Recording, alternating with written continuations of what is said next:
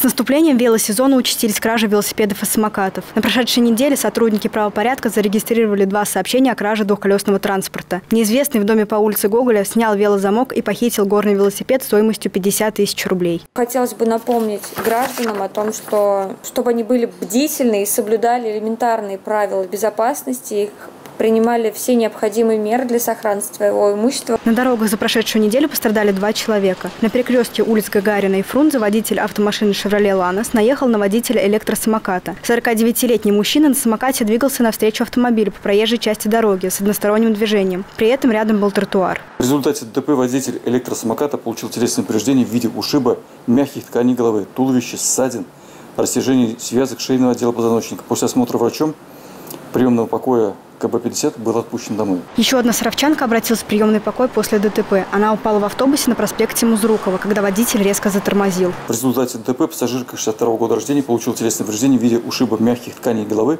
и левой кисти.